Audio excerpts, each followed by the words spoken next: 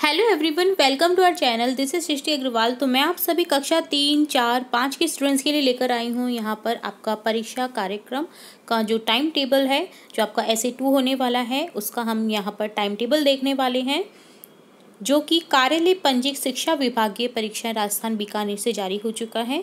तो यहाँ पर हम देखेंगे किस डेट को आपका कौन सा एग्ज़ाम होने वाला है, समयावधि क्या रहेगी। तो यहाँ पर सबसे पहले आपको जो दिनांक है सत्रह दिसंबर 2022 से आपके पेपर स्टार्ट होने वाले हैं।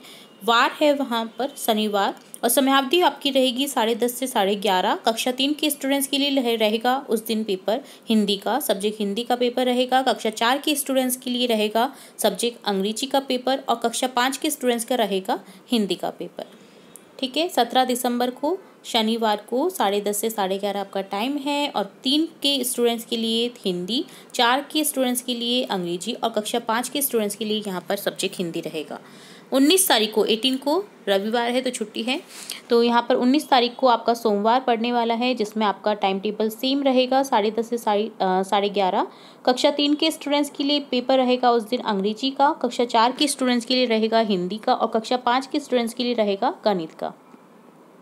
बीस दिसंबर 2022 को आपका पेपर मंगलवार को है तो यहाँ पर समाप्ति सेम ही है, साढ़े दस से साढ़े ग्यारह। कक्षा तीन के स्टूडेंट्स के लिए पेपर रहेगा गणित का, कक्षा चार के स्टूडेंट्स के लिए रहेगा गणित का, और कक्षा पाँच के स्टूडेंट्स के लिए रहेगा पेपर अंग्रेज़ी का।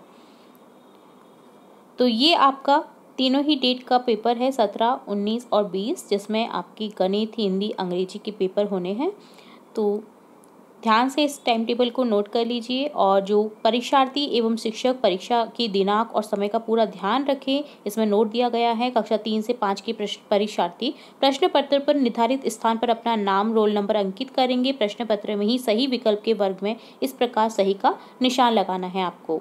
कक्षा छः से आठ के परीक्षार्थी प्रश्न पत्र के साथ उपलब्ध करवाई गई ओ सीट पर निर्धारित स्थान पर स्वयं का नाम, कक्षा रोल नंबर और विषय अंकित करेंगे तथा इस सीट में ही सही विकल्प के जो चयन है, वो आप इस तरह से सही का विकल्प का निशान लगा देंगे। क्योंकि ये कक्षा तीन से पाँच के स्टूडेंट्स के लिए टाइम टेबल बताया गया है तो यहाँ पर हम उन्हीं स्टूडेंट्स के लिए डिस्कस करेंगे। परीक्षार्थी प्रश्न पत्र और उस सीट को मोड़े नहीं, इसे शिक्षक द्वारा स्कैन किया जाएगा अति सीधा रखा जाना है।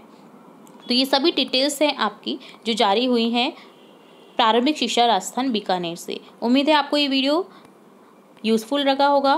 तो इसी तरह और भी यूज़फुल वीडियोस देखेंगे हम हमारे चैनल पर।